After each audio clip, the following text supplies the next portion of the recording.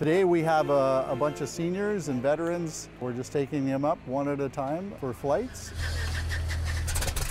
My favorite part, not only I get to fly a, a really unique and uh, cool airplane that's a part of history, but I also get to share that with the veterans, uh, a lot of them that have flown in this airplane before. My name is Christopher Wayne Culp. I'm a pilot with Ageless Aviation Dreams Foundation.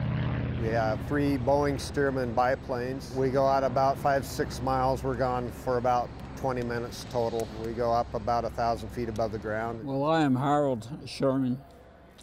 I served uh, time in the Navy in World War II in the Pacific. What are we doing here today? Getting the hell scared out of you sometime. Bye, Dad. Bye. I'm so excited for him. I can't. I can't say enough. I'm so excited for him. The best part is seeing their eyes light up and really giving thanks to them for serving. One of our pilots described it best, uh, this aircraft as a time machine. They go in at 96 and they come out 19 or 20 years old again. Did you have fun?